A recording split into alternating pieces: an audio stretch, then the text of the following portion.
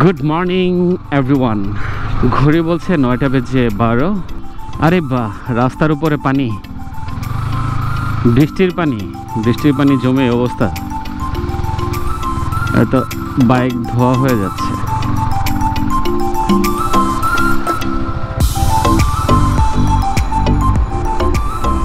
আলহামদুলিল্লাহ আরও চমৎকার, অনেক সুন্দর একটা দিনের শুরু। প্রত্যেকটা দিনের জন্য মূলত আসলে সৃষ্টিকর্তার কাছে আমাদের কৃতজ্ঞতা জানানো উচিত। সূর্যের আলো মাথায় নিয়ে যে দিনটা আমি শুরু করলাম, এই দিনটা আজকে এক একজনের কাছে হয়তো এক এক রকম যাবে। এই এলাকাটাতে এখনও একটা গ্রামীণ ফিল পাওয়া যায়। পাশাপাশি আরেকটা ব্যাপার, সেটা হচ্ছে কেমন জানি একটা আগাম শীতের স্মেল পাওয়া যাচ্ছে। মনে হচ্ছে শীতটা কেমন আসে আসে করতেছে। হয়তো দেখা যাবে এই বলতে বলতে আগামী পনেরো বিশ দিনের মধ্যে শীতটা চলে আসবে। শীত মানে হচ্ছে সবার কাছে আসলে আলাদা একটা মুড যাই হোক চিল করতে করতে আসলে আমার অফিসে লেট করা যাবে না, আমাকে ইন টাইমে গিয়ে পৌঁছাতে হবে। আমি আছি এখন রামপুরা বনশ্রী এলাকায়। এখন পর্যন্ত রাস্তাঘাট মোটামুটি স্বাভাবিক, যাই না সামনে কি অবস্থা? কি একটা অবস্থা? রামপুরা টিভি সেন্টার এলাকায় এই সকালবেলা এত পরিমাণ জ্যাম, বাপরে বাপ। ও মাই গাড এত পুরো লরি মানে উল্টা পড়ে আছে রাস্তার উপরে। আর এটা দেখে মনে হচ্ছে যেটা এই হয় রাতে না হয় ভোরবেলার কাজ, ভোরবেলা পড়ছে। রাতের বেলায় ড্রাইভাররা চোখে ঘুম নিয়ে গাড়ি চালান আর ভোরবেলায় এই ঘুমটা আরও তীব্র হয়, অনেক প্রকট হয়। আর এই ঘুমের কারণে মূলত এই জাতীয় দুর্ঘটনাগুলো ঘটে। হাতে জিলে ঢোকার পর একটু ঠান্ডা ফিল পাচ্ছি, একটু ঠান্ডা বাতাস। আর একটু আগে যেটা বলতেছিলাম যে এটা শীতের কেমন জানি ভাবসাব এটা এখন প্রপারলি পাচ্ছে। একদম ঠান্ডা একটা বাতাস লাগতেছে গায়ের মধ্যে। বাইকের কিছুটা স্পিড থাকার কারণে গায়ের মধ্যে বাতাসও লাগতেছে।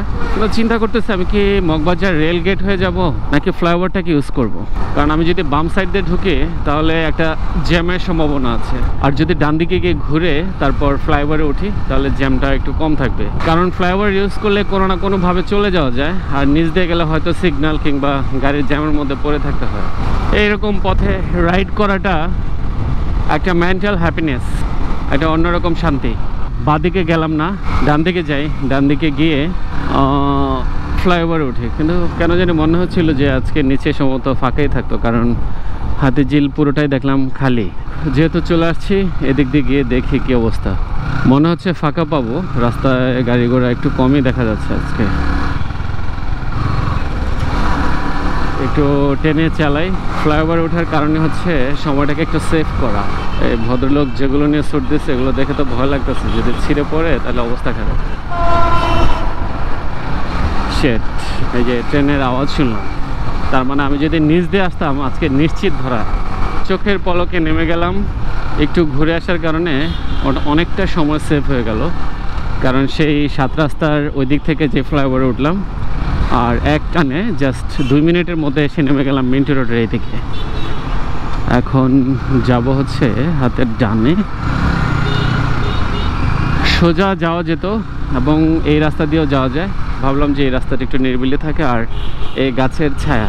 অনেক সময় শুধুমাত্র রাস্তার কারণে রুট পরিবর্তন করি। যাই হোক, সকালবেলা আসলে গল্প করতে করতে চলে আসলাম আমার অফিসের কাছে কাছে ভিডিও কম থাকার কারণ হচ্ছে আসলে প্রতিদিন এই একই দৃশ্যপট দ্যাটস ভিডিওটা একটু কম করা হয়। আপনাদের সামনে কম আসি। তারপরেও ইচ্ছে করে যে প্রতিদিনই আসলে আপনাদের সামনে প্রেজেন্ট হতে কোনো না কোনো বিষয় নিয়ে। কিন্তু সেই বিষয় ভিত্তিক টপিক না থাকার কারণে অধিকাংশ সময় কথা বলা হয় না বা ভিডিও তৈরি করা হয় না, কারণ আসলে ফিক্সড কোনো বিষয় ছাড়া কথা বলা যায় না। এরকম ব্র্যান্ডম দেখেন গাইজ এই লুকটা মানে এতটা জোস লাগতেছে। মানে খুবই সুন্দর লাগতেছে ভিউটা অনেক জোস। একটা সান রিফ্লেকশন সূর্যের আলো যেভাবে সে গাছের পাতার মধ্যে পড়ছে, একদম ফুটে জল করতেছে। আর শীতকালে যখন কুয়াশা ভেদ করে এই সূর্যের আলোটা এভাবে পড়বে, তখন দেখতে আরও সুন্দর লাগবে। ফ্রন্ট অফ কাকরাইল মক্স কাকরাইল মসজিদের সামনে। এই যে আজকের ভিডিওতে আমি শীত শীত বললাম একটা শীতের হাইপ তুলে দিলাম, দেখবেন শীত চলে আসছে তাড়াতাড়ি। যাই হোক, আজকে এই পর্যন্তই।